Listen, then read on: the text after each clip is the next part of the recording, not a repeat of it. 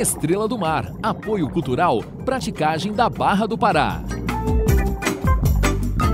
Almirante Edervaldo, eu, do programa Amigos do Mar e a minha equipe, agradecemos por todo o apoio que o senhor vem dando para o Amigos do Mar.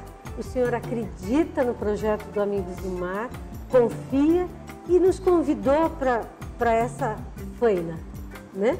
Então, desde já eu agradeço, quero deixar aqui essa declaração e deixo agora a câmera para suas considerações finais, mensagens, o que o senhor quiser.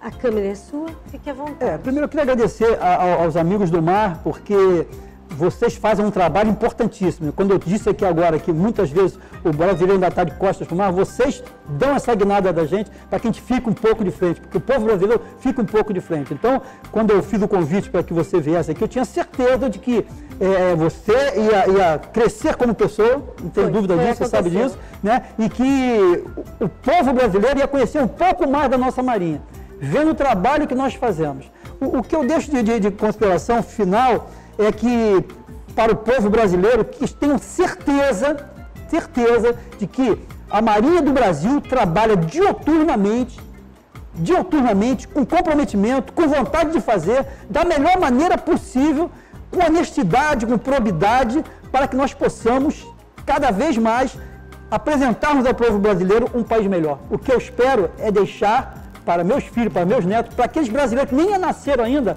um Brasil melhor. E tenho certeza que todos na Marinha trabalham dessa maneira.